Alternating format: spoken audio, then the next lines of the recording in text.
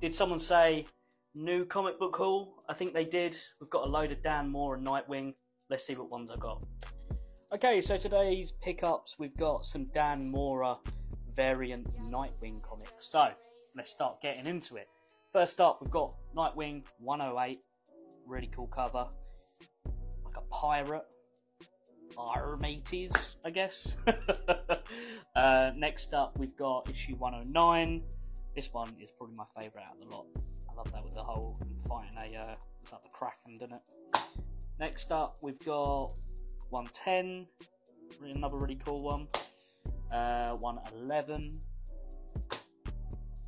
112, uh, 114. I've already got 113, so don't need that one. And then 115. Very, very nice covers. Love Dan Mora's work and uh, looking forward to adding even more of his stuff. Not as much craziness on the floor today, but um, yeah, some really, really nice covers. Again, like I said, Dan Mora stuff, big, big fan.